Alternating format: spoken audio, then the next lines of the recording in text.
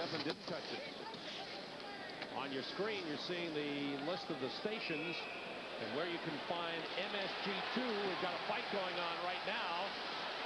Janssens and Gallant. No, I don't think that's Mokosak. It's uh, Mokosak. I believe so.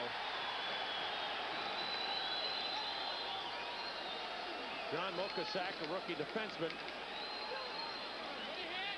Kelly likes to not change hands and keep the right hand going.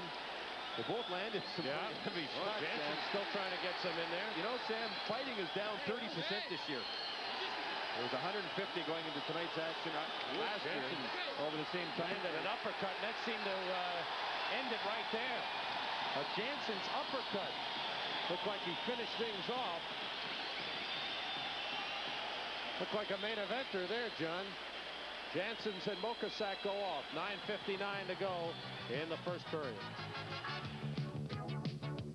Here you'll see the Rangers working the puck inside the Detroit zone. Up near the blue line, Mokosak win at Janssens, and he'll continue to go at Janssens, and he'll throw the first punch at Janssens.